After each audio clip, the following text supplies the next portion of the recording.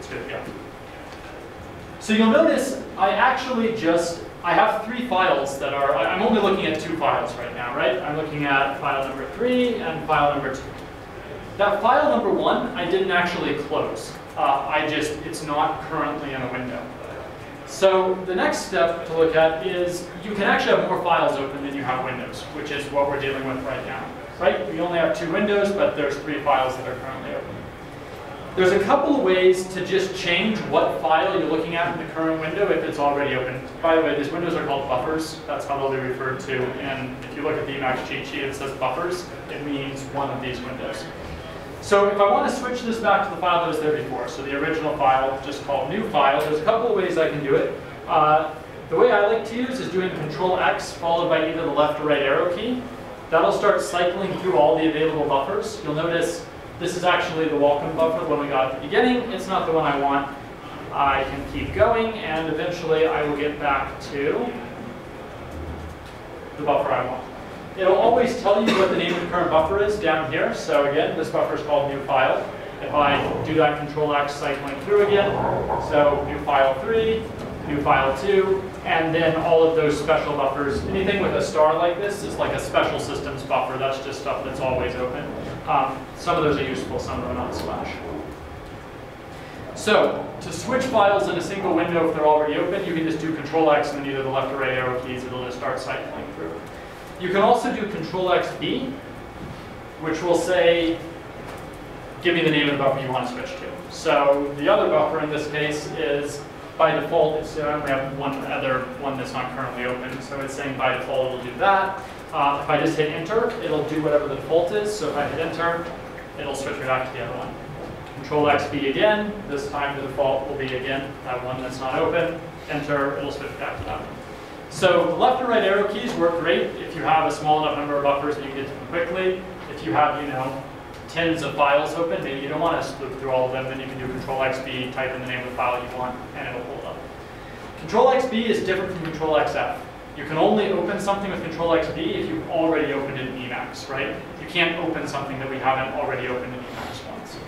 Uh, if you want to see a list of all the available buffers, so everything you have open, Control X, Control B will essentially show me a list of everything I have. So it's the three text files and then these special ones that are just always there. And then you can do Control XB to, you know, choose one of those. So I could do new file two and open it over here. I can come back to here and when you have this list open, you can actually just hit enter on one of these and it'll open it. So if I scroll down here to scratch and hit enter, it's going to open up that one. Uh, so you can kind of use it like a little file browser by going to whatever one you want, hitting enter, and it'll open it. Questions on splitting windows, on opening buffers, switching between buffers, so on and so forth. Okay, let's start looking at some of the code-specific things. Is there a way to close a buffer without closing Emacs entirely? Yes, that's a good question. So let's say uh, I'm done working with new file three, I want to close it. I actually don't do this a lot because you're rarely in a situation like where you really be like, who cares if the file's still open, right? If I save it, I don't necessarily need to close it. Uh, but sometimes you do want to close it. If you want to close it, the command is Control X K. You'll see down here it'll say kill buffer, default new file three. Same kind of deal. If um, if this file hasn't been saved and I go to, well, we'll do it twice. So right now, well, the file probably hasn't been saved. Let's see if it prompts me.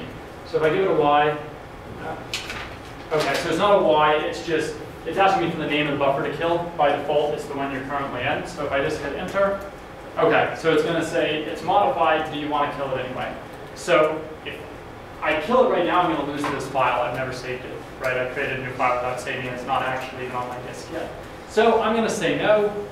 I'm going to do Control X, Control S. That's going to save the file. Then I'm going to do Control X, K again, enter, and it's gone. You'll notice that on the list of open files, there is, oh, get off fail. It's still there.